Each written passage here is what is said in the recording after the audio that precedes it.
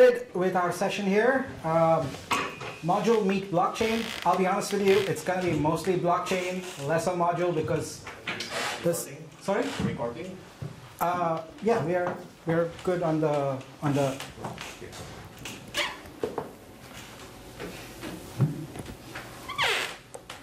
Oh, all right. We are recording now, so that's great. All right. Uh, thank you to our wonderful sponsors for organizing this event. Uh, I see a lot of people of familiar faces. So hello. Uh, he just turned it on. Yeah. Uh, but for those of you who don't know me, my name is Nik Kalyani. My current startup is called WhenHub, hence the shirts. I'm the co-founder and uh, CTO. I also created another uh, company uh, called Walkstarter, which is uh, uh, my uh, volunteer project. it's a platform I created for to help schools in the U.S. raise money through walkathons, and we are just about to hit $2 million in funds raised uh, with the platform. Whoa. And my goal is to get to $2 billion. So we'll see how that goes.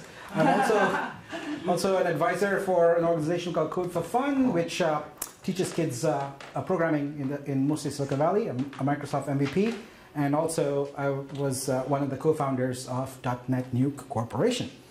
All right, uh, so uh, just a quick uh, uh little bit about my current uh, company. Uh, our newest product is called Interface, and we just released the product a few weeks ago, and in the past two weeks we've had 25,000 downloads. The product is a blockchain product. It's called Interface, and what it does is it allows anyone to be an expert or talk to an expert on any conceivable topic. So this is the long tail model where it's not about your usual stuff about graphic design and marketing, etc. But it's more about uh, you know, I'm doing some gardening. Where do I plant these flowers? Or uh, I want a quick consult on how I should, what color I should paint my walls, or something like that. So uh, it, it works with uh, cryptocurrency, and uh, it's uh, please download it from the App Store. You can get the links at interface.whenhub.com. So uh, that brings us to today's uh, session, uh, which is about uh, uh, blockchain. And I like how Dilbert talks about it. I, I, put this strip up here for a, a, reason. One of the co-founders of my company is Scott Adams, who is the creator of Dilbert. And for today's session, at the end, people who have asked very interesting questions and people who have spotted uh, bugs or help me fix bugs as I write code uh, get uh, get copies of this Dilbert book signed by Scott himself. Oh. So they're all signed. And uh, so there's eight of them. So ask interesting a, questions. You don't have a copy of Win Bigly? I could get you that also. It, things can be mailed also. We have that. So it's cool. Uh, for today's session, I have gone ahead and posted everything that I have here, uh, whether it's PowerPoint or code. You can get it all at tinyurl.com slash dnnconnect 2018. Uh, my Twitter handle is at TechBubble. I'd appreciate if you would follow me and give me a mention with these hashtags. Um, and there's the QR code there. Uh, all right, so with that, let us dive right into a blockchain. When I uh, kind of wrote the session abstract, like most people, uh, uh, I, I, had this glorious vision, but then it, you know, it's 60 minutes. So let's see how much uh, we can we can get done. So um, I'm presuming that you're here because you know at least something about blockchain, but um, what I want to do is not spend too much time on stuff that you're going to find elsewhere. I want to focus on stuff on the on code and on on building uh, smart contracts, and we'll talk about what those are. But uh, just as a high level thing, uh, a blockchain is uh, essentially a public uh, ledger of, of data, and the reason uh, it is so popular is because that same ledger is replicated on millions of computers, and as a result, it is tamper-proof. Unlike regular bank ledgers, etc., which are subject to fraud, with blockchain, you don't have that. Um, you know, a lot of people right now know about blockchain mainly in terms of cryptocurrencies, etc. But uh, blockchain has many other uses too. And I guarantee you within the next five years, every one of you will have at least one, maybe two or three applications that you are using uh, that are blockchain uh, driven. And uh, you just have to look under the surface beyond the hype and look at things like Hyperledger, et cetera, and see how much work is going on there.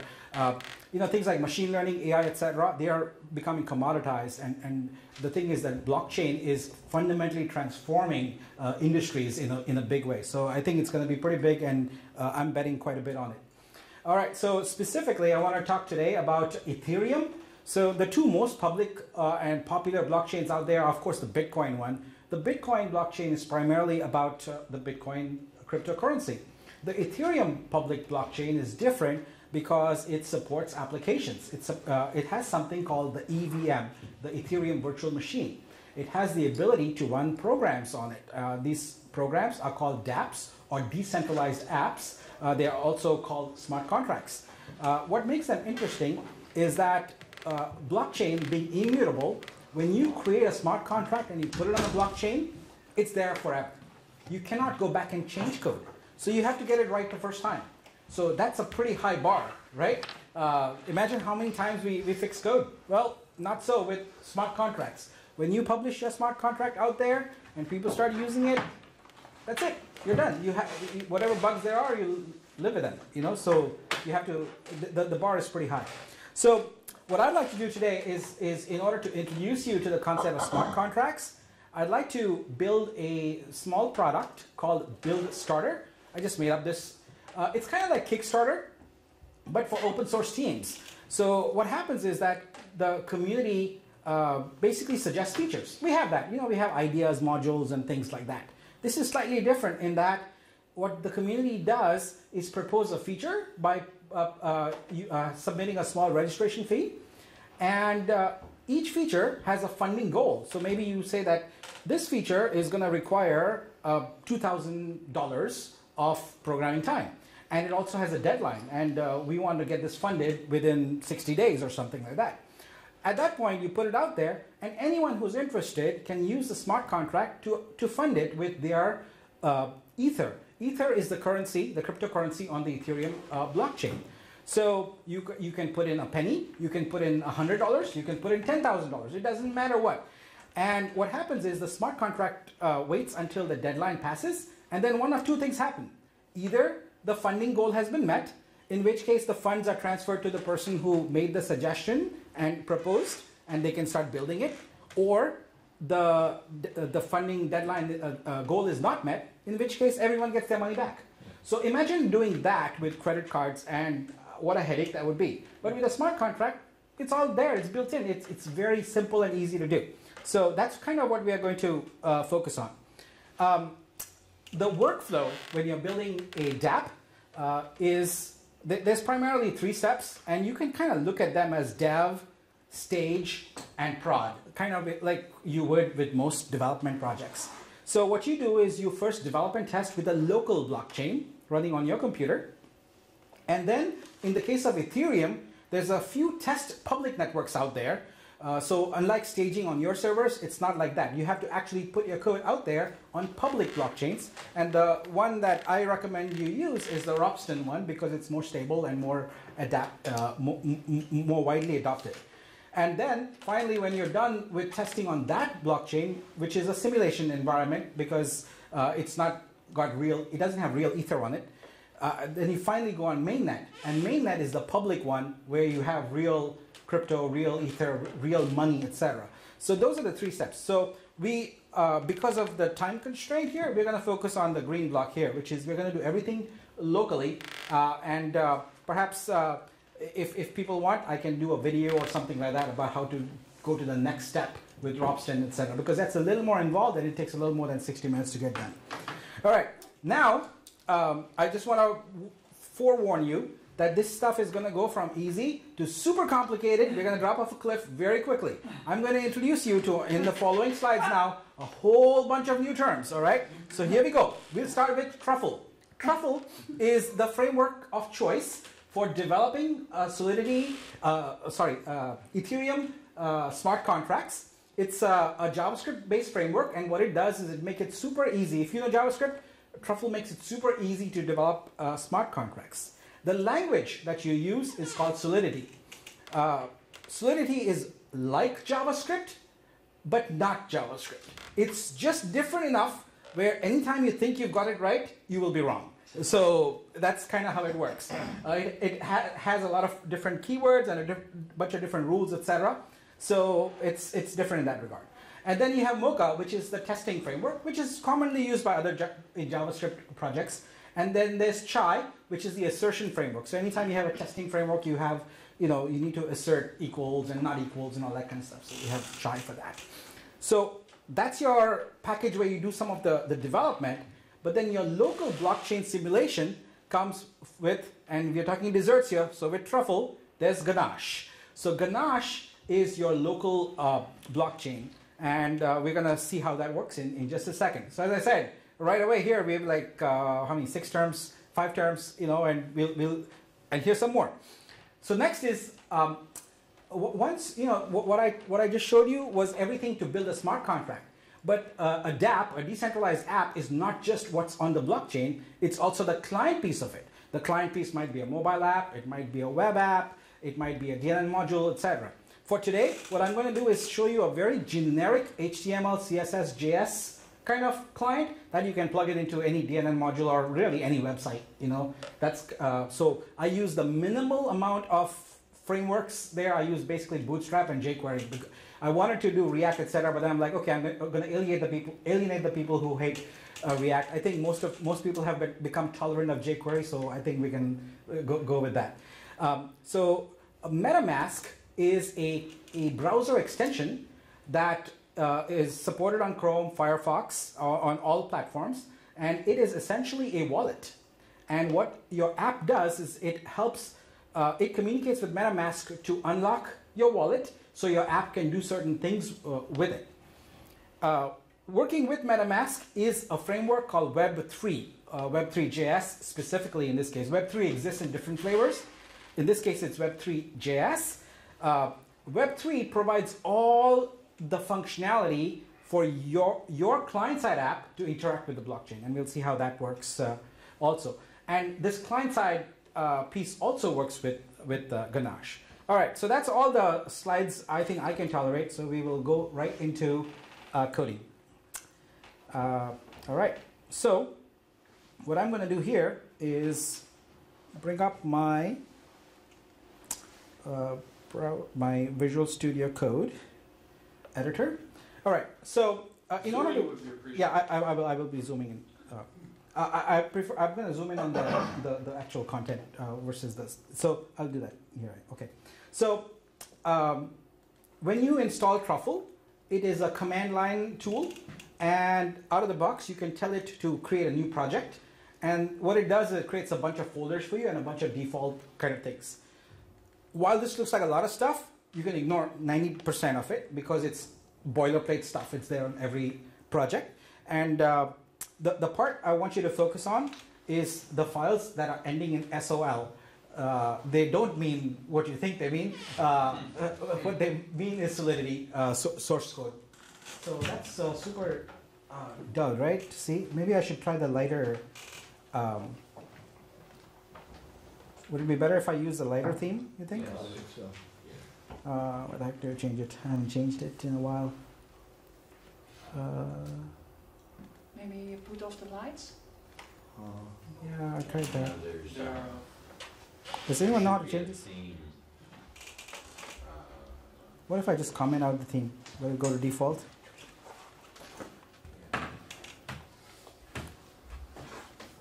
think this is the default. Oh, that is the default? Uh, how do you get a light? You'll probably get a color sense if you start typing. Oh, there? Yeah.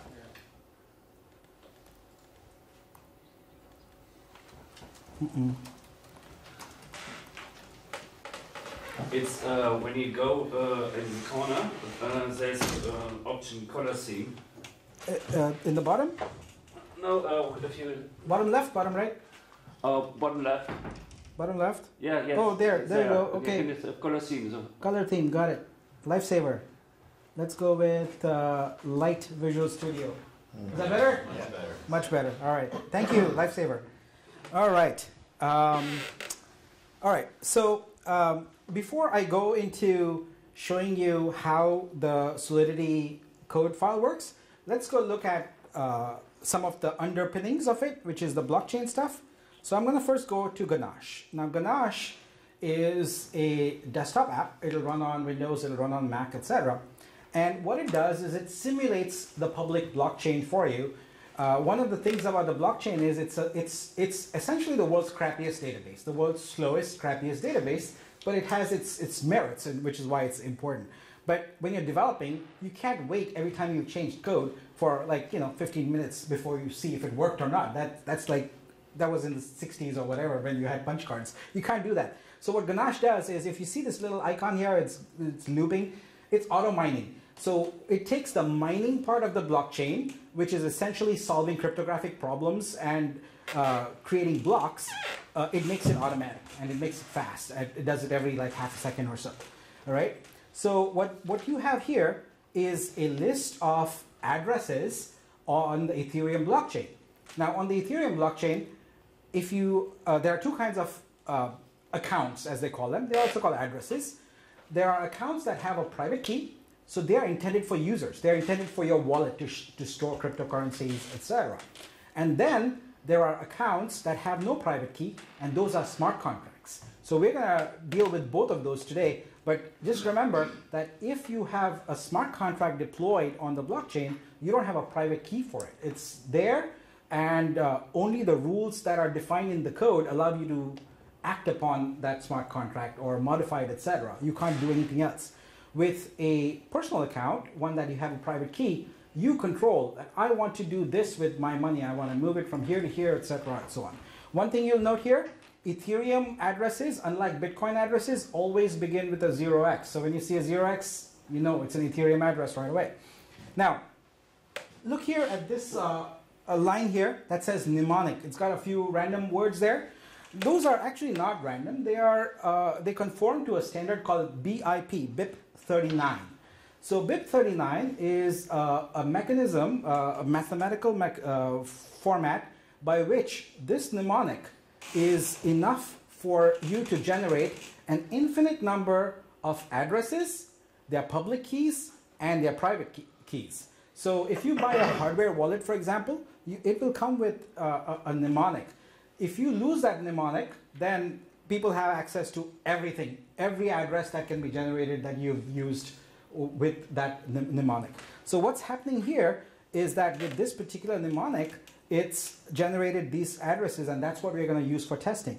I want to go to my browser here and show you um, this website. Uh, let's see here. Let's just Google BIP39. Um, in in the GitHub link, I have put uh, in the Git uh, I have put the links to all of this. But this is a mnemonic code uh, uh, converter, and here you can go and you can generate. So I'm going to say generate for Ethereum, and uh, I'll say generate. And if you go down here, you'll see that it's generated all these addresses. Now they all look the same, except each of them has an index: zero, one, etc. So one of the things you want to do when you're transacting with cryptocurrency is never use the same address twice for a transaction. Because once you do that, you become no longer anonymous. You, you, it's easy to figure out who you are because you can see the flow of, of uh, addresses and the flow of transactions. So with a mnemonic, you have the ability to have an infinite number of addresses. And in fact, every decent uh, crypto exchange and every decent crypto wallet will always give you the option to generate new address. So if I'm gonna uh, you know, send a, a crypto request to Joe, I'll send him one address, and to Clint, I'll send another one, etc. So there's no way to correlate the two. And uh, with this tool, you can generate as many as you want. So I can say 50.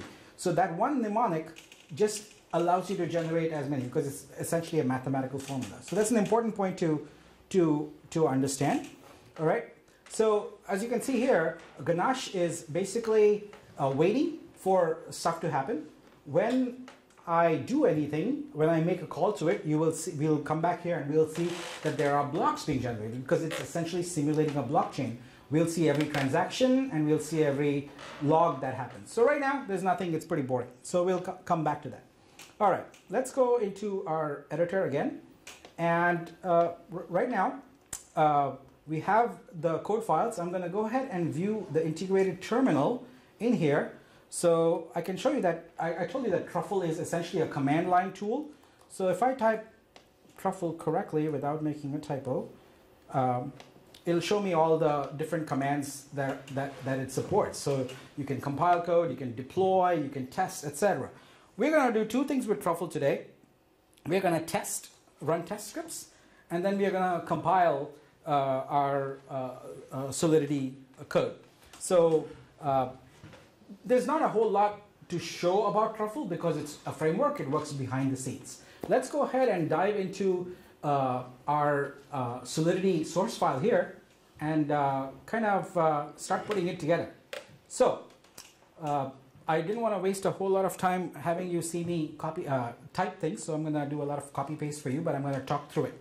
So, the Solidity source file is, as you can already see, you know, it's got the C uh, language. Oh, what happened there? How, The beamer Oh, uh, that went off.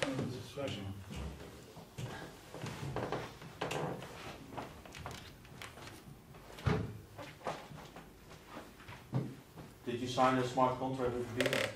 Sorry? Did you sign a s- smart contract with Beamer? Yeah, I did not. At the end of the Maybe session, that's you will pay.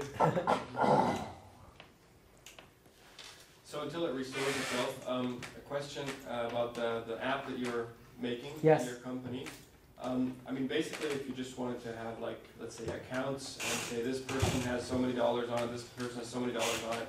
I mean, you wouldn't need a blockchain for that, right? So, what's the added value of the added complexity? Yeah. So uh, the the advantages of the blockchain there, it's a very good question, are, are multifold. First of all, there's this cross-border transactions, so we don't have to worry about things like taxation, etc. Uh, when you have micropayments with credit cards, uh, especially if they are really small, the, as a percentage, the fees are, get, can get pretty high. So uh, it can get as high as 20, 25%. But the biggest reason is about openness. Uh, every credit card processor is tied to a bank which has rules about what businesses can and cannot use their credit card uh, processing for. With the blockchain, there is no censorship. You can use it for any business purpose you, you choose. So that's an important consideration also. Also, when it comes to things like escrow, which we do, for example, uh, one of the things we're going to introduce is the ability to have scheduled time slots. So you can just say, I'm free on next Thursday from 10 to 5 and on next Tuesday from 2 to 3. And people who are interested in talking to you then can go ahead and book your time then. But uh, what, what, when that happens on the blockchain, we escrow tokens from both parties. So we escrow it from you to keep you honest that you actually show up for the appointment.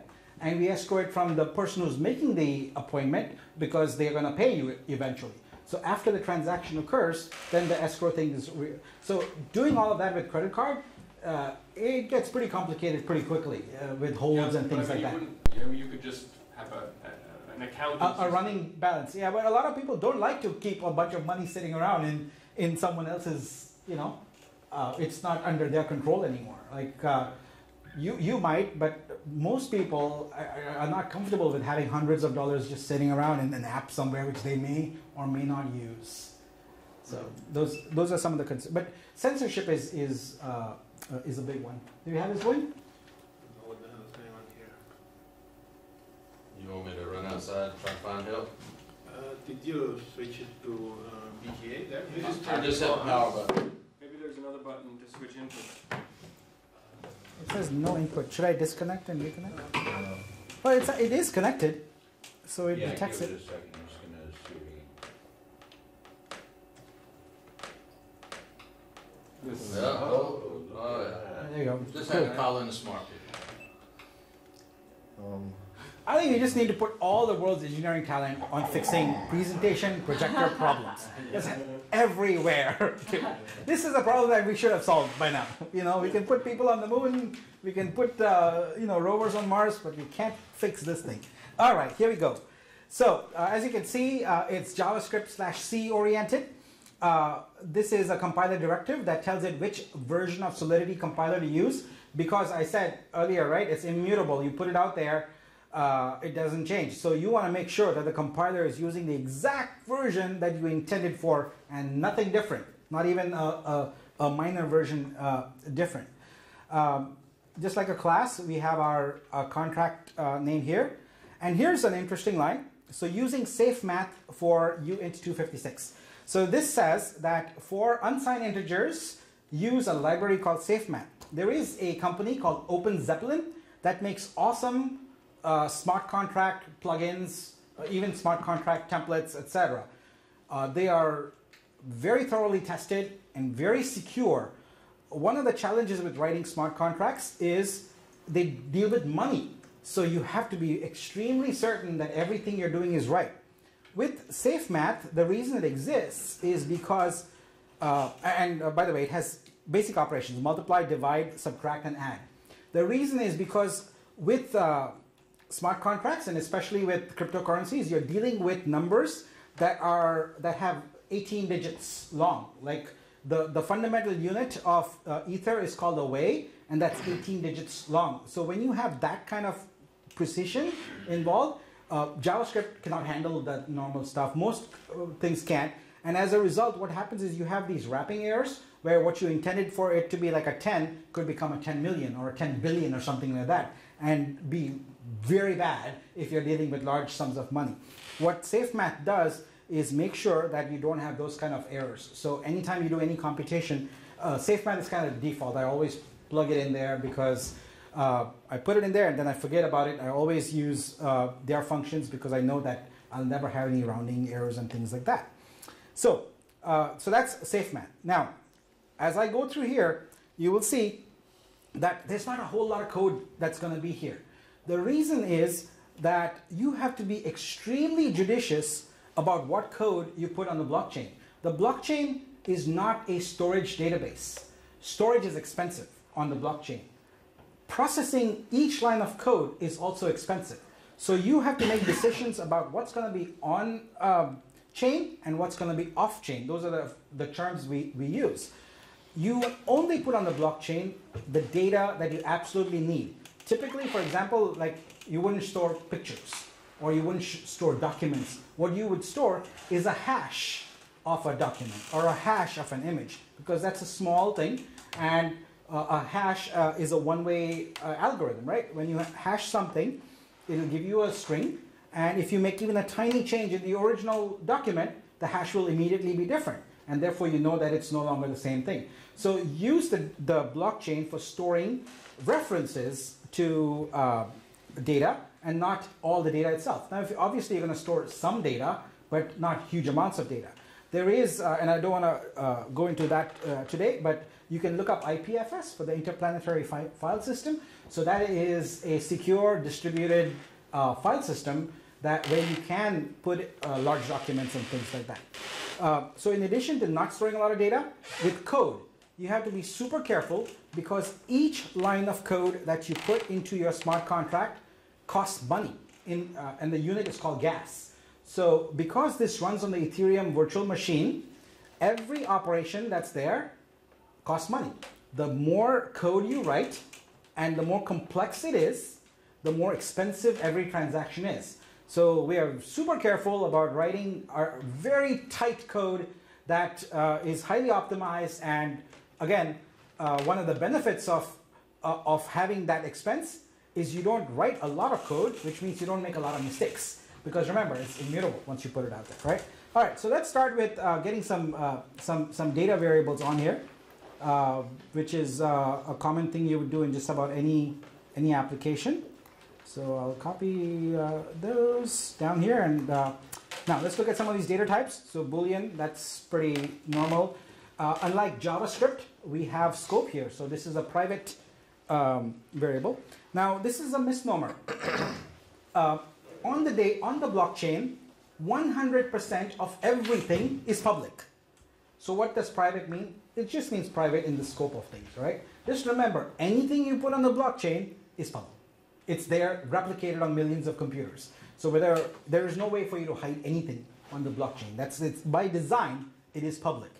Uh, this just means the scoping of it. So I've got a few variables here uh, that are Boolean. And then I have one called address. So address is a special type that refers to an account. I told you there are two kinds of accounts, right? There's the account with a private key, which is for uh, you know wallets and things like that, and there's account uh, without private key, which is for uh, smart smart contracts. All right. Um, so this is an unsigned integer. Uh, so I'll explain what uh, I'm doing with some of these variables here in, in a moment. Uh, but let me just go through the types first. So this is our data structure. So essentially it's like an object. And uh, so I have a data structure here called feature, which represents a feature that someone wants to create. And it has, you know, whether it's been registered, who's the creator, what the goal is, when will the funding uh, end, what is the current level of funding, has it been paid out, who are all the people who have uh, put in money, and what are the amounts, and there's an array.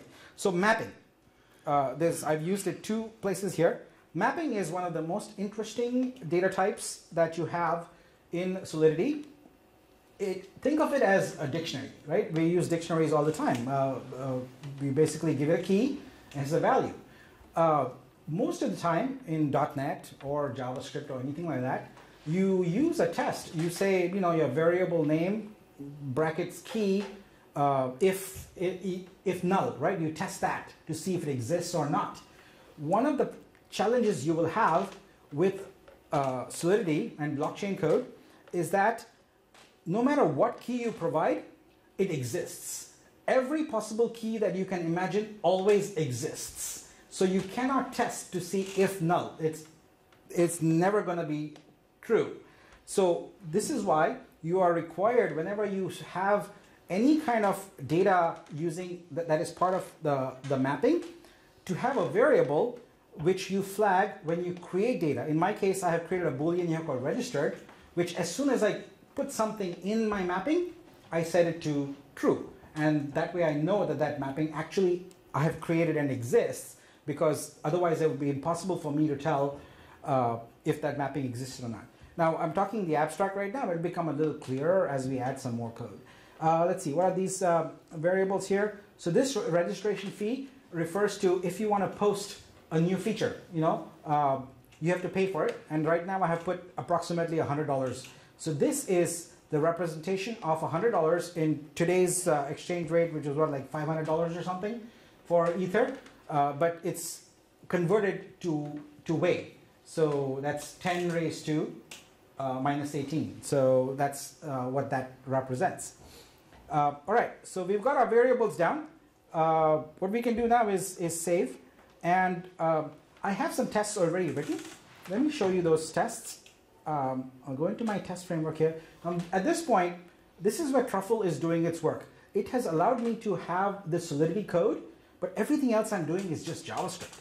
So here's my uh, tests. So I've written a bunch of uh, tests using standard uh, arrange, act, assert uh, patterns, right? So let's uh, let's do truffle test minus minus reset. The minus minus reset is not necessary. I, I put it always, uh, it forces Truffle to always reevaluate and recompile everything. I found that uh, it has caused me more headaches to not do that, where it's cached something and I'm like trying to debug it and it doesn't work. So I'm gonna guess that 100% of my tests are gonna fail. We'll see, because I haven't put any of the code, right? So there, it's it's compiling contracts, and now it's gonna try and run uh, my tests, and we'll go and look at some of these tests in a bit. But yeah, it's already it's zero passing because I don't have enough code yet. But what we'll do is we'll keep adding code until we get you know those tests to, to pass. So let's go back here. And after our variables, the next thing we want to do is add our constructor. So let's do that. So here is my constructor. So uh, when I put this constructor, it's going to give me a compiler flag because they made a recent change where uh, uh, for the constructor, you're supposed to actually use the word constructor. But um, I'm using a different version of Solidity than the compiler because there's some other bugs with it that I want, don't want to deal with in this session. So we'll just ignore the compiler error.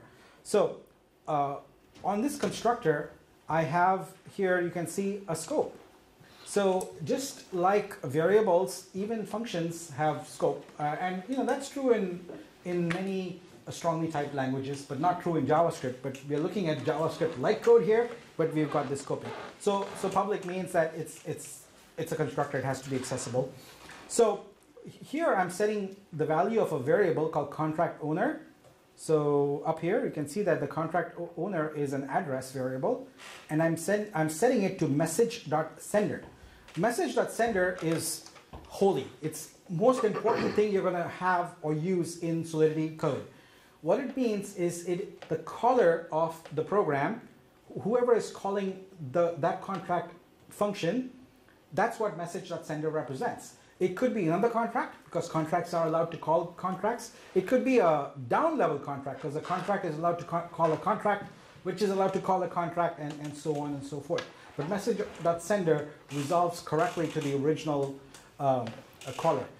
This is also important because when you're uh, one of the benefits of smart contracts is they're decentralized. You don't need an admin to do a task for you.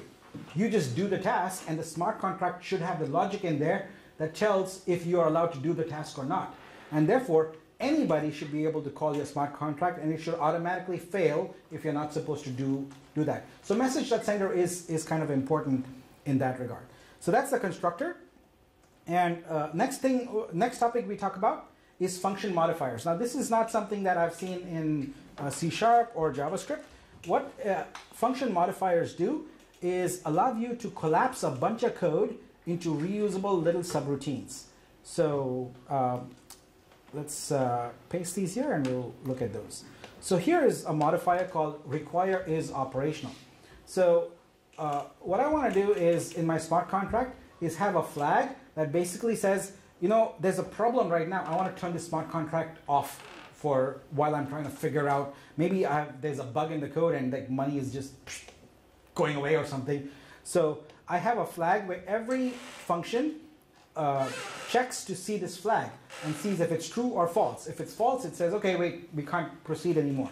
So this modifier, uh, what it does is it essentially calls this line of code and this underscore here represents all the other code that's already there in the function. So you can add require is operational to any function and this code will then be called by that function.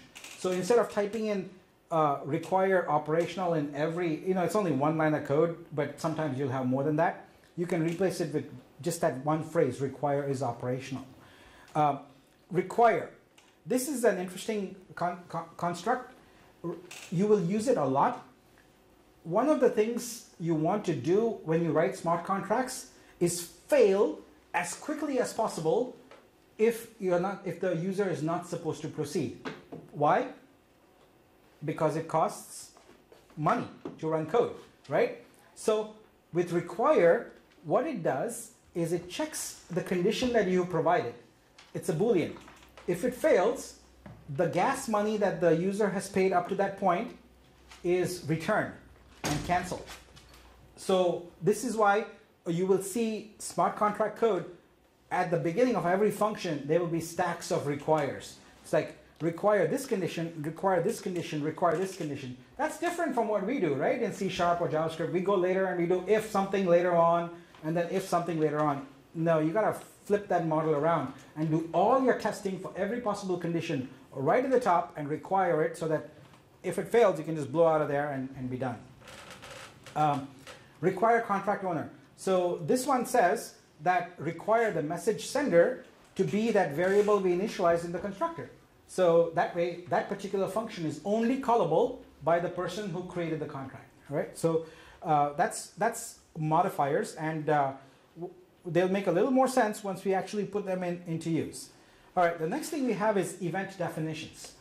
100% uh, of everything you do on the blockchain is asynchronous. You have no idea when you are working with your client app when there will be a result coming back.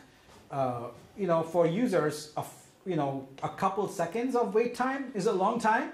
So imagine having to wait for 30 seconds or 5 minutes or 15 minutes for a response. That's just not possible, right? So instead, what you do is you define events. The events, when they are triggered by the blockchain with the transaction, are written to a log file. And you can create filters that watch the log file, and based on something appearing, an event appearing in the log file, you then follow up and say, okay, your transaction was successful, or it failed, or something like that. So let's look at the types of events I've created here. So I've created, for this case, I've created uh, three events. I've created an event for when uh, uh, registration, uh, when a feature is registered. Remember, we are with Build Starter, you're submitting a feature, you're registering a feature that you're, you're proposing. So maybe you're proposing a new language pack or, or, or wha- whatever the code might be. Um, and so when the event is fired, it'll tell you what is the ID of the feature, because we don't want to actually store the feature on here. We want to store a pointer to the feature. So somewhere in some database, you're going to have all the details about the feature. Here on the blockchain, you just have the ID. You know, so it might be uh, I've chosen a numeric uh, ID, but it could be an alphanumeric thing or something like that. Uh, who created it, and what was the fee? Uh, what, what is the goal? How much are they trying to raise? And when will it end? So this is the information you'll get in, in your event. So now you can uh, send an asynchronous toast or a, a notification on mobile or something like that and let the user know that, that that blockchain transaction you submitted three minutes ago, here's the result of it. That's, that's how it works. So uh, in, we have this kind of anal- analogous stuff in banking transactions, etc., where things might span hours or days even, you know, where you want to send a notification back. But on the blockchain, it's the norm. Never ever expect anything back instantly. In fact, when you stick your transaction out there, you don't even know if it's going to get processed. You may have to reprocess it, right? So a couple of other events here, transfer and, and funding. So this is a good time to pause and see if uh, we've made any progress here and uh, uh, run our tests again. What do you think? Any, you think it'll pass? Probably not. Probably not, because I haven't added any functions yet. so I've just added all the scaffolding. You know, so far we're just working with all the stuff except for the main stuff. So now let's get to the main stuff. Uh, Nik, the, the ID you put in, sorry? the, the ID of the contract or, or of the stuff is outside of the blockchain. The ID of the yeah when you deploy the smart contract to the blockchain you will get an address and that is the deployed address for But how do I link that to the outside contract where all the specifications are? which contract Well, you, you have of course a, a document or something. yeah That's stored in the, in the blockchain. yeah But you have to link that document to the blockchain. yeah so you either put a, a hash of the document Yes. or a pointer to the document in your database or something like that. So an id Uh, your sql id for example. Uh-huh. or a hash. You didn't do that here, i, I did. Uh, so here this id Oh, that could be a hash. it could be a hash. I chose to make it a, a numeric id Uh, yeah it could have been a hash also. I um, thought it always was a hash because you have to be sure that it's uh, it's not tampered. Yeah, so so that's a different use case. In this case, I'm just trying to track the money associated with it. I'm not trying to check the authenticity of the document. But you are absolutely correct that if you're trying to validate and make sure that someone signed this document or had this document in their possession on a certain date, then you would want to store the hash and not a reference because of course the outside database is mutable. You can change it, do whatever you want with it. So you are correct about that. Yep. All right, we're throwing some utility functions here, which uh, uh, basically, you know, sets and gets, etc. So uh, I need those, so I'm going to put them there, and then we'll get to the heart of the, the matter, which is the smart contract the functions. All right. So in the interest of time, I'm not going to sit and talk about those a, little, a, a lot. Let's just get into our smart contract function. This is the meat of it. All right. So now we have a method called register. I'm actually going to cut it here because it's easier. All right. So let's look at. Squiggly bracket that looks a little suspicious. Sorry. On two oh one, there's a closing bracket, do you need that? Yeah, I, well, we'll find out. So, and if we do, uh, you've earned yourself uh, a book. So, all right. So let's let's find out. Okay. So I, I have I kind of spaced everything out quite a bit, so you easily see what the parameters are and everything. So, um, all right. So we've got three parameters here. Uh, they are typed: the ID, the goal, and the end timestamp. This is external, meaning this function cannot be called from inside the smart contract. It must be called from outside. Uh, uh, Ethereum virtual machine does a whole bunch of optimizations based on whether a function is supposed to be called from inside the smart contract or from outside and so on and so forth. Payable. This is super important. Payable means that this contract, this method is capable of receiving money. So you can submit ether when you call this particular method, and that ether is handled in code. Uh, that ether is represented by this thing, message.value. So previously I told you about message.what? Sender. Sender, right? So that's important. Equally important is message.value. Message.value represents the amount of ether that someone has submitted when they call this particular function. So I was telling you about stacking requires. Here we go. So require that the ID is greater than zero. Require that this ID is not already previously registered. We don't want to have duplication. Require that the goal is greater than zero. We don't want a zero goal. Require that the amount of uh, ether they're submitting is greater than or equal to the registration fee you have set. The registration fee is, is a, a variable you can set it with set registration fee. So I put $100 by default. You remember earlier up here we had that value, that long value? It's a hundred, but you could make it five dollars on you, know, for someone to submit an idea. Or you could make it one dollar. It doesn't matter, or one penny. It doesn't matter what. But, um, but that's when you're registering a feature. It has to come with a payment. So that's what this is about. Now, uh, uh, one of the big challenges with time when you're trying to do a demo like this is, you know, imagine saying that the, this is going to last for one week. Obviously, we can't sit here for one week. So I have created a, a, a variable called testing mode, which basically says ignore all times right now because we just want to get through this without uh, uh, waiting. Uh, otherwise, we would require that uh, the end timestamp they are providing be in the future.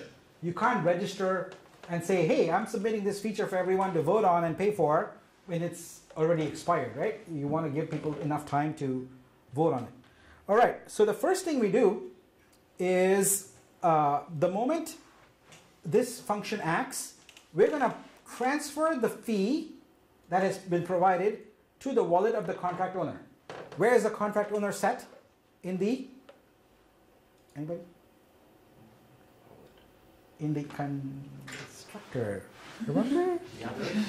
Message dot sender in the constructor. We the first the only thing we did in the constructor is set the contract owner, right? So whoever is deploying the contract is the contract owner. So they are omnipotent in that regard because we are saying that so they get all the money. So as soon as someone registers the ether, the contract immediately takes that ether and moves it over to that person's wallet. Uh, so that's what that code is doing right there. Um, why are you putting it in another variable? I mean, can you just use message sender down here as well? No, because this function is being called by you. I am the person who deployed the contract. So message.sender is you. So I don't want to send the money you're sending to the contract back to you, Uh-huh. right? So that's why. Okay, and then I add to my address, uh, my, my mapping, I add uh, features is my mapping. If you remember earlier here, we, we have right here, this mapping says the key is of type I, uint and it is value is of type feature, right? So it's a dictionary of feature objects. So here we are going ahead and populating that and we are setting the default values for everything. So we are saying it's registered true. The only reason for this to exist is because of that quirk I told you about, where on the blockchain in, in Ethereum, all keys always exist. All right, uh, I guess uh, we have only 10 minutes. Better hurry up. Uh, well, if you guys don't mind, because we had some of those interruptions, since it's lunch, can I go over a little bit? Thank you.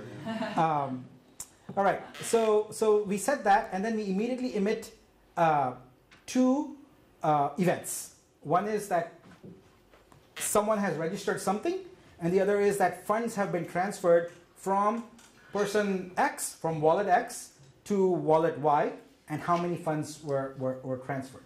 So that happened right here. So that's it. Very simple code. It just registered a feature and it moved a little bit of money, right? So now uh, we might be able to actually get uh, one thing to pass here. I'm thinking. Function variable struct uh, expected. All right, so this is where that uh, that curly brace was, right? All right. Good luck debugging this, Nik. All right. Uh, No, 201. It's, it's it's pretty, yeah, it's just on two thirty-four or something, put it close. yeah, just put one there, right? Let's see. By the way, you have everything in one file, is this necessary, or like Uh, in other systems, you would have more? You can you can split it up, um, but then you have to write deployment scripts and all that kind of stuff. Okay. All right. So uh, we are we, we are we are making pro. Ooh, one passing. All right. So which one passed? Let's see.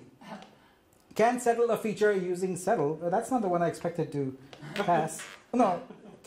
Can, register a feature using feature and fetch it uh, event submitted. So oh, you know what? The colors in this one are backwards. Yeah. So. Uh, That is good. uh, red is good.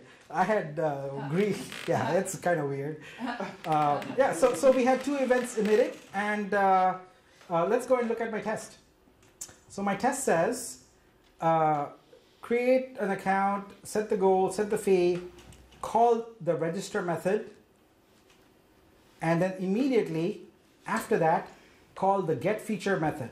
Now notice here that this method I'm calling uh, and I'm sorry I can't go into too much explanation about this. You'll have to look at the code and figure it out. Uh, this one I'm calling without dot call at the end, and this one, which is get feature, a method that is also in there, I'm calling with call. When you're writing Mocha tests, uh, if you are calling a read-only function, you use call. If you are calling a function that is changing state, you don't use call. That's the difference here. Get feature is just doing a get, and so there's no, uh, it's it's read only, so you can do that. So um, let's go ahead and uh, plug in some more stuff here. Actually, you know what I'm gonna do? I'm gonna just plug everything in, and we'll let the whole thing pass, because I want to show you um, what's happening on the blockchain, because that's the funnest part of all. Uh, okay. So um, you have access to the source code, you can see it. But I just want to talk through one more function and then we'll, we'll go to the blockchain. So uh, settle. So settle here is essentially, again, remember, anyone can call this. This is not a special function that only you know the contract owner can call. Uh, the, the function here is saying settle the feature called ID. In, in, in business terms, settle means that the the period for people to fund that feature is over and it's now time to transfer funds or fail it. So in this case, we are saying um, we're doing this is the, the big check here. If the funding is exceeds the goal, then and only then is anything going to happen. Otherwise, it's just going to blow up and say, nope, sorry, cannot settle because the funding is not exceeded or met the goal. Right. But if it does meet that condition, then we're going to set a variable called payout with the funding. We're going to set the funding to zero. We're going to transfer all the money that has been funded, and it could be well over the goal, to the person who submitted that feature.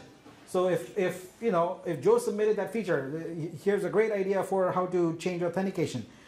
He gets all the funding because everyone who's sent that funding trusts him to actually build it. Obviously, the smart contract doesn't have any guarantees about what's going to happen in the real world. Joe will take that money and run away, and that's possible, but the smart contract doesn't care about that.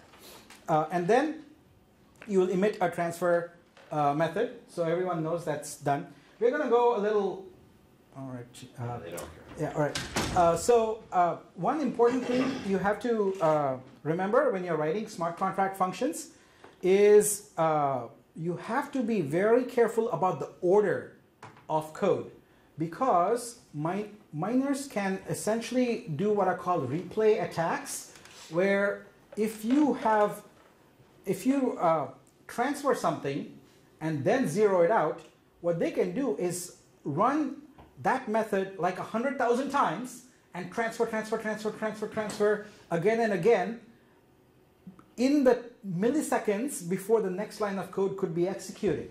So you could essentially empty out a wallet. So always use the pattern of zeroing out first, so subtract first, then send the money to whatever. That way, you cannot be subject to that attack. It's a very common attack, and a lot of uh, smart contracts fall victim to that.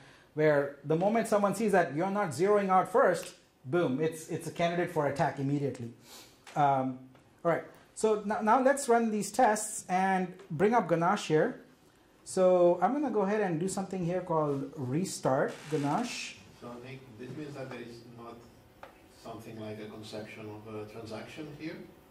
It is a transaction, but what's happening is in the state machine, if you it, you're the miner, you have full control over the the computer. You can make it do things that. Uh, so, so imagine if you are sitting on a server, and you have control and the ability to change SQL Server code. What what kind of damage could you do to a database if you had that ability? You could bypass security and all those kind of things. That's what a miner has and that's why you want to make sure your code is is secure.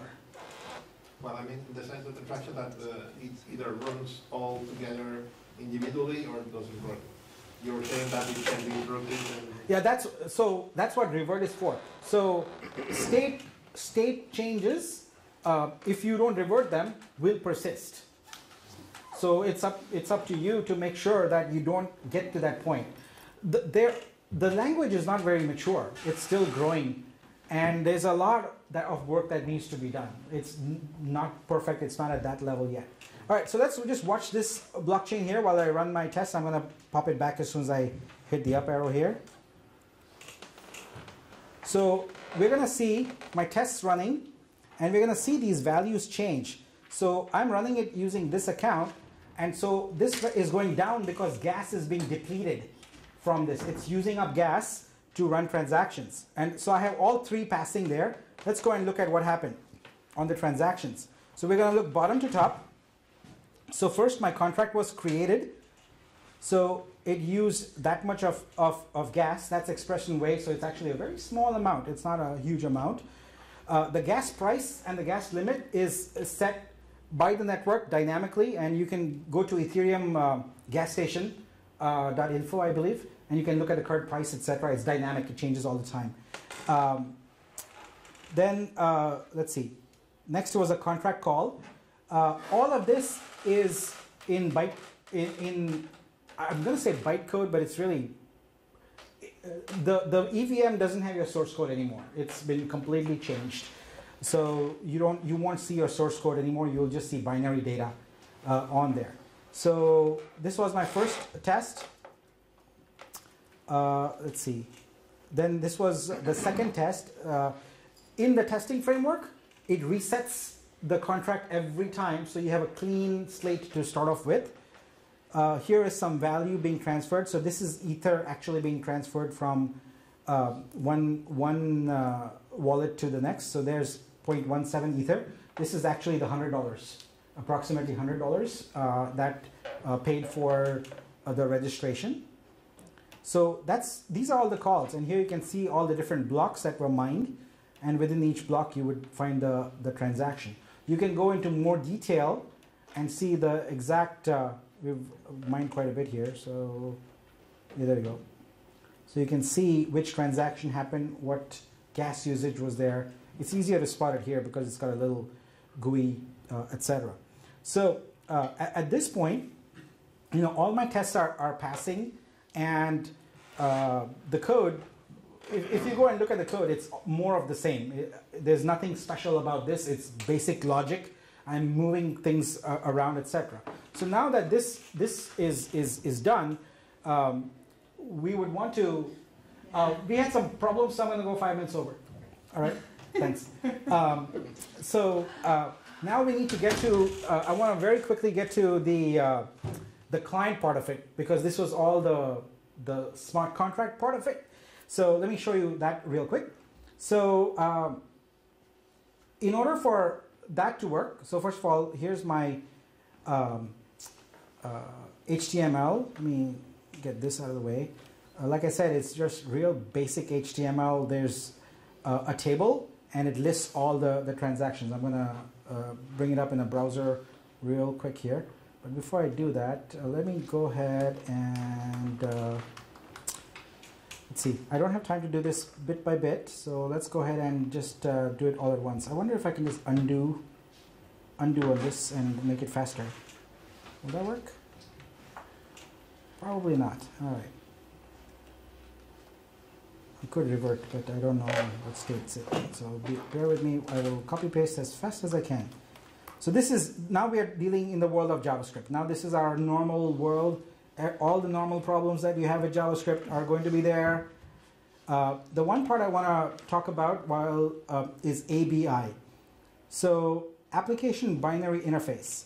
This is the mechanism by which JavaScript code in your web app or your DNN module knows how to interact with the blockchain. Uh, Web3 JS uses the ABI, the application binary interface, in order to uh, do its magic. And I'm going to show you how to generate that ABI.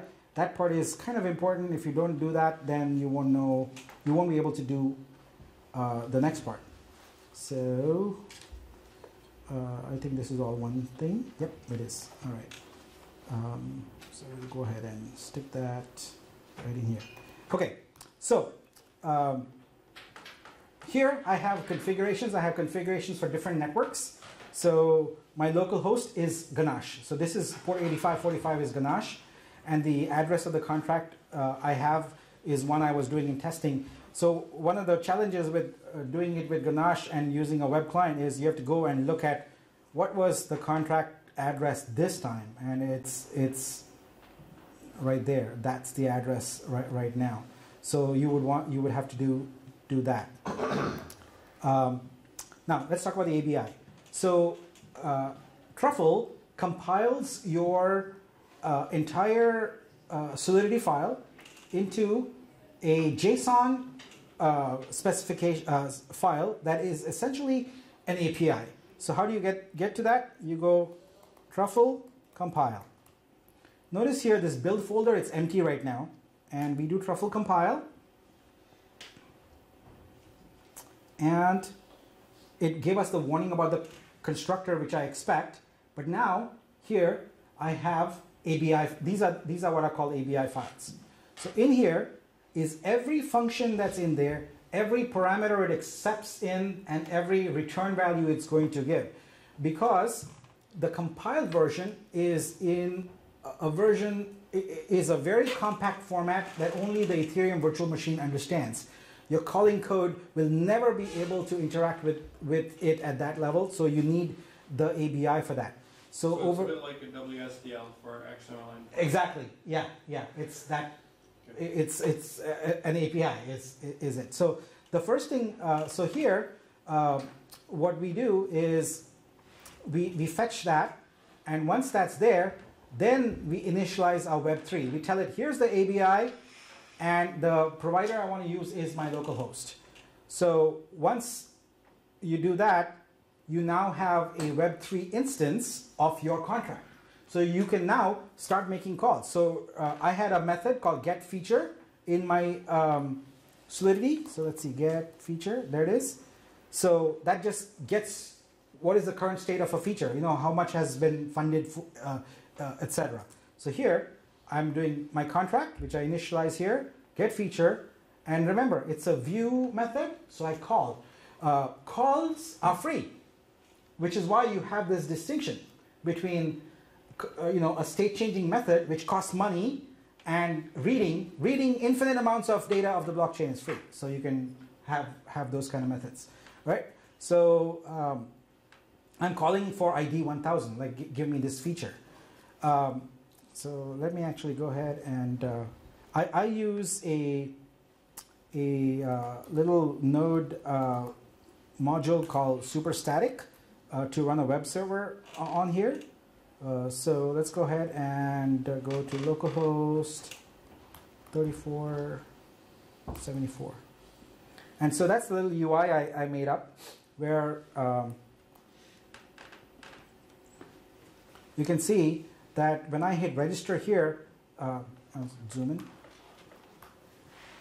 it will call, um, it's going to call that wrong contract ID, but um, you can see uh, it actually did work. It, it gave me a transaction uh, uh, remember I said when you fire off calls to the blockchain, you never get a result back immediately. What you do get is a transaction hash.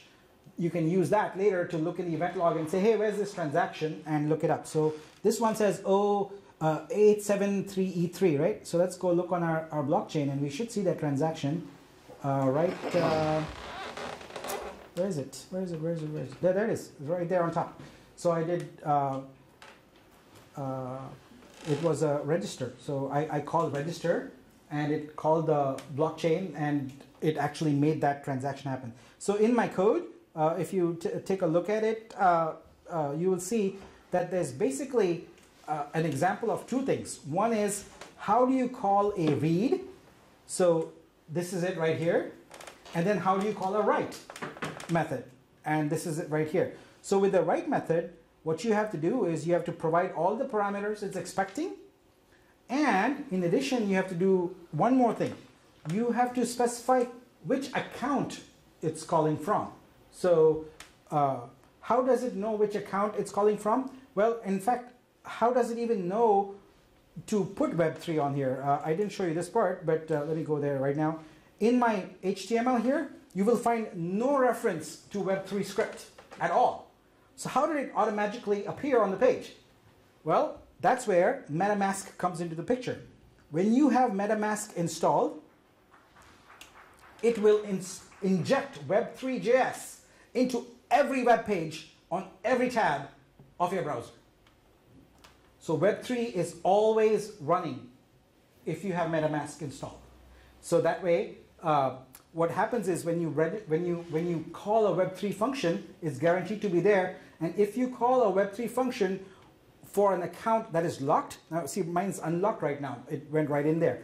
It will throw up the, the MetaMask dialog and ask you to provide a password, regardless of which uh, website or which client app you're calling. So, because all your private keys, etc., are right here in MetaMask, which is a, a, a wallet, and uh, it is responsible for doing all the legwork of communicating with, uh, uh, essentially injecting Web3 so you can then communicate. So I'm sorry I kind of rushed through the end part of, of, of this. I would love to have gone longer, but this is a complex topic and uh, I'm trying to distill in an hour things that take like months to months to figure out. But hopefully this whetted your interest and I'm happy to, you know, chat anytime and uh, if you want to go over the source code or whatever, do a Zoom call. I'm happy to help. I, I love this stuff. I think it's very much the future. And um, I think there is a place for it today. And in fact, that's the reason why I, I created this whole open source thing because I'm actually going to build it and put it out there. I think it, it, open source teams might find it useful and easy to just, instead of trying to figure out which feature we build, why not just let people tell you what feature to build and specify the money? And, you know, here's the money, you know, go build it. That makes it easier, especially when people don't have to think in terms of, oh, $100, $500. It could be five cents or, you know, and you can get a bunch of people to contribute. You can make things happen. So anyway, that's uh, uh, my, my session. And uh, uh, did everyone get the URL? Because all the code is there. You can play with it, you know, and uh, uh, ping me, ping me if there's uh, any problems, etc. So And you can post the URL on the DNN Connect on the session. Yes. Yeah. There's a, like for a slide. Oh, there's a- okay, okay, great. Yeah, all right, great. But one, one thing. Yeah, does it- yeah, Does it make sense to have a, a blockchain private? Do you, I mean, you, you are in a corporate and you want to build something. Absolutely, Hyperledger, etc. your Private blockchains. Servers that are not talking to the outside world.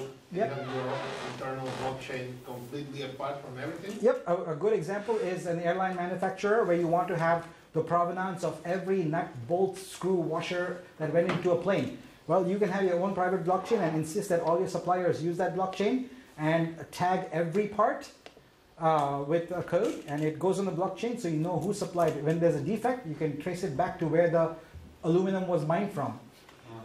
But You can do that. what what you Then need you don't have just the server that runs the Uh, blockchain. uh, hi- there's software, Hyperledger, IBM Hyperledger, uh, and there's others also. Yeah, But wouldn't that, like, don't you just need an immutable database? There's no blockchain functionality for that, right? Like, what's the point of having the mi- the block mining and all that? Like, you just need an immutable database and require. R- right. uh, That, that's exactly it. but So that's with, not a blockchain. it, it, it is in, in terms of the data structure, uh, but it, it does not have the requirement to have this distributed mining Yeah. capability. I mean, you could just have one server, you know, each vendor could have a server that just, Right, so Does that. that's not a blockchain, that's just an append-only database. it, No, because the problem is that if you would have just an append-only database, then the airplane manufacturer could still fake the database, right? Because he has full control over that machine. Now, if the supplier wants to be sure that the other guy isn't gonna screw him, you really wanna guarantee that even the guy running the server can't fake the database. I, I have the answer for you. Uh, the data in a blockchain is not stored linearly, it's stored in a data structure called a Merkle tree. A Merkle tree is essentially a tree structure in which, which the parent is a hash of its two children. If you tamper with any child, the entire tree becomes invalid. Yeah. So that is not an append-only database because in the append-only database you could remove records from the top and it would still be okay, right? I mean, you could if you could fraudulently do something to remove it, and the data at the end would still be okay. But in the Merkle tree, it wouldn't. It would be invalid immediately. Yeah, And so you yeah, have you can, uh, as, as the owner of the database, you can still recalculate everything. Yeah, at, at that point, yes, yeah. But but typically the blockchain is run by the company that is uh, that wants its suppliers. So it is in its own interest not to mess with its data, right? I mean, the supplier might want to mess with the data, but not the owner of the blockchain. Therefore see? it works. Yeah.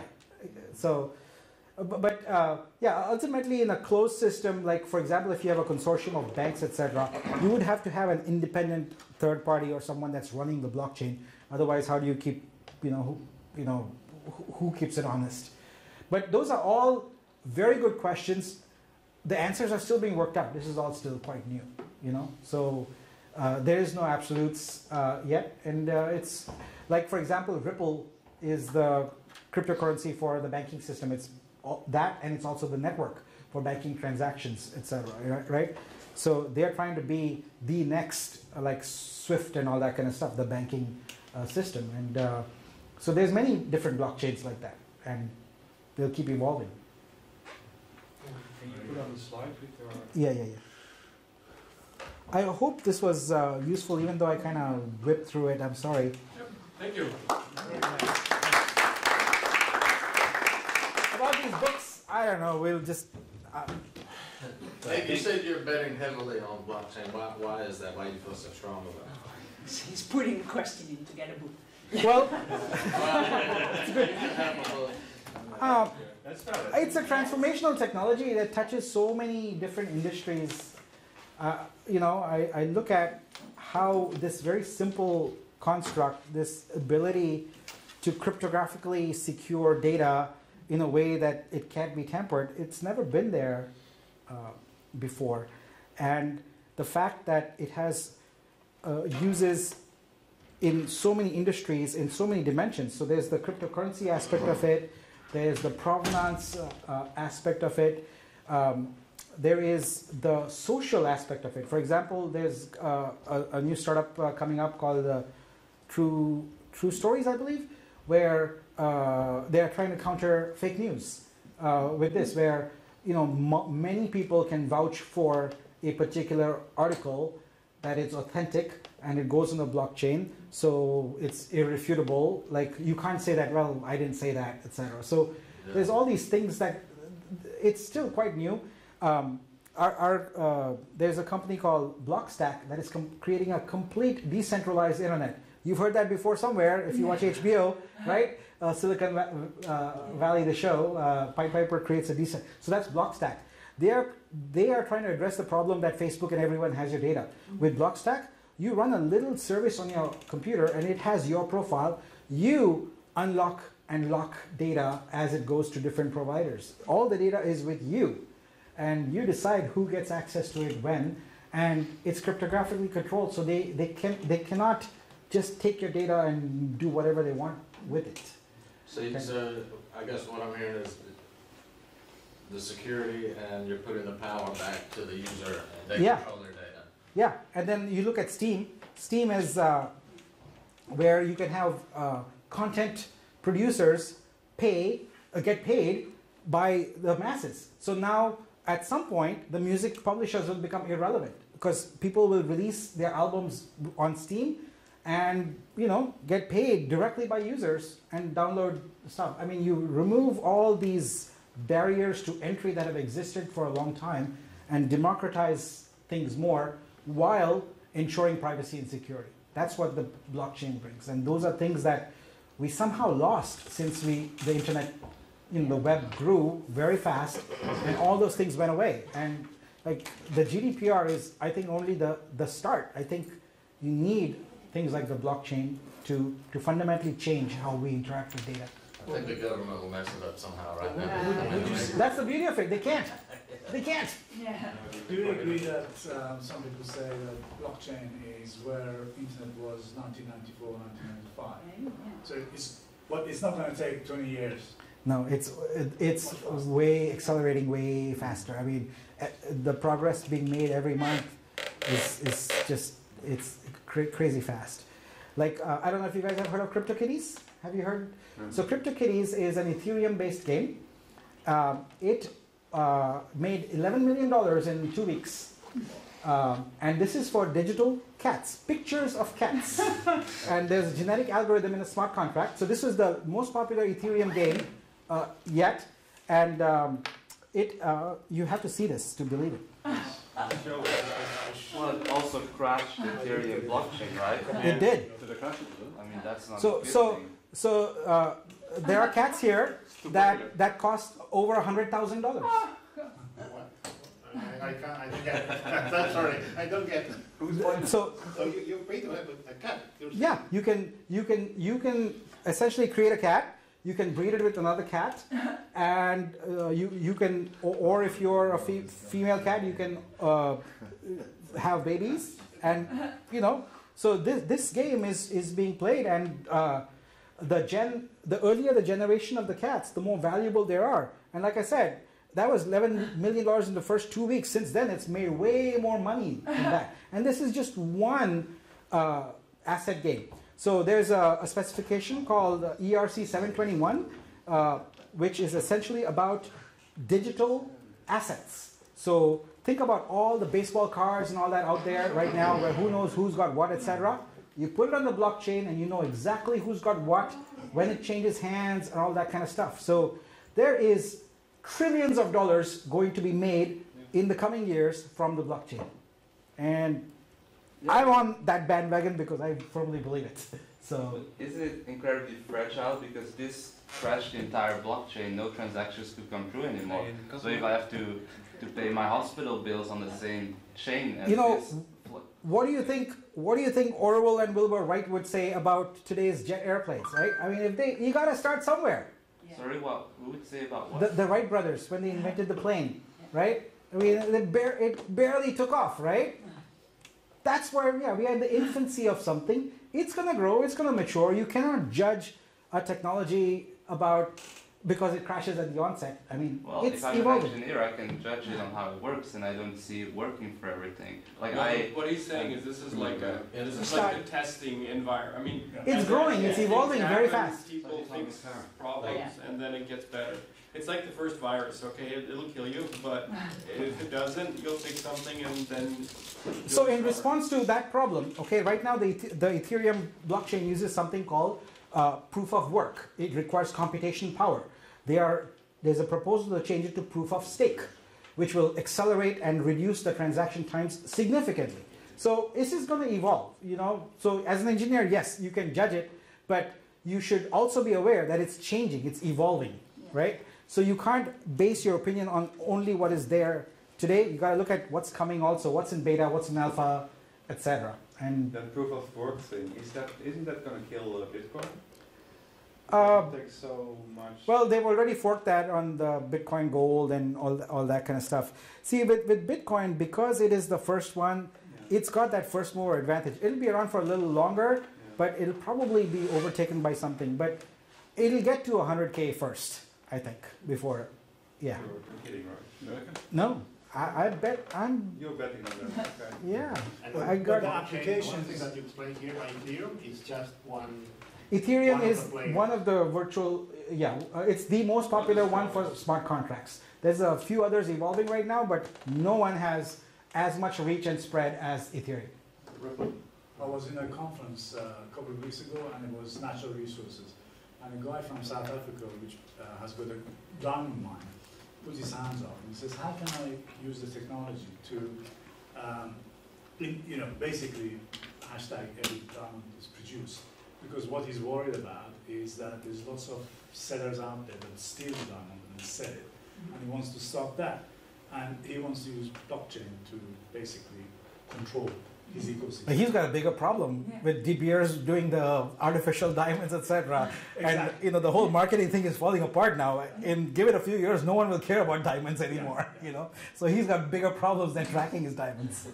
Yeah. No, so you know, I could be 100% wrong. You know, I could be betting on the wrong horse. But there aren't that many horses. You know, Oh, yeah. this is the the big horse that's out there right now. I mean, what what hmm. else is is there? Yes. Very good. Well, thank you. And you know, just help yourselves to the shirts and books, guys. Uh, first come, first serve, I guess. You do get one.